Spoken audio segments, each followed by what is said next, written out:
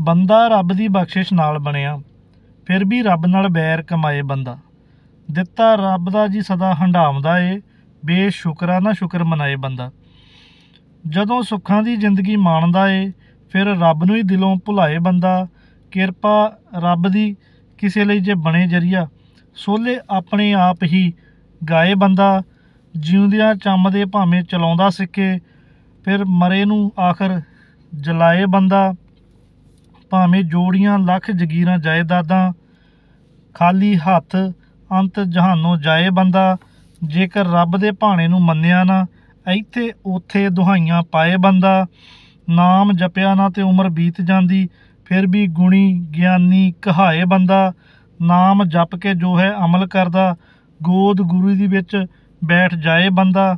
ਬੰਦਾ ਉਹੀ ਜੋ ਰੱਬ ਦਾ ਹੁਕਮ ਮੰਨੇ, ਬਾਣੀ ਪੜ੍ਹੇ ਤੇ ਨਫ਼ਰਤ ਮੁਕਾਏ ਬੰਦਾ, ਬਾਣੀ ਪੜ੍ਹੇ ਗੁਰਵਿੰਦਰ ਤੇ ਨਫ਼ਰਤ ਮੁਕਾਏ ਬੰਦਾ। ਵਾਹਿਗੁਰੂ ਜੀ ਕਾ ਖਾਲਸਾ, ਵਾਹਿਗੁਰੂ ਜੀ ਕੀ ਫਤਿਹ।